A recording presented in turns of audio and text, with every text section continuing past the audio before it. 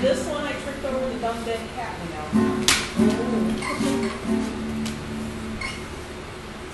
Okay, now.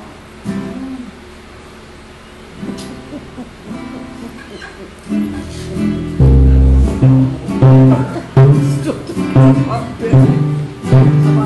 About Benny over there, just made me laugh so much. It's just like when you're driving and all of a sudden you turn and say, I'm driving.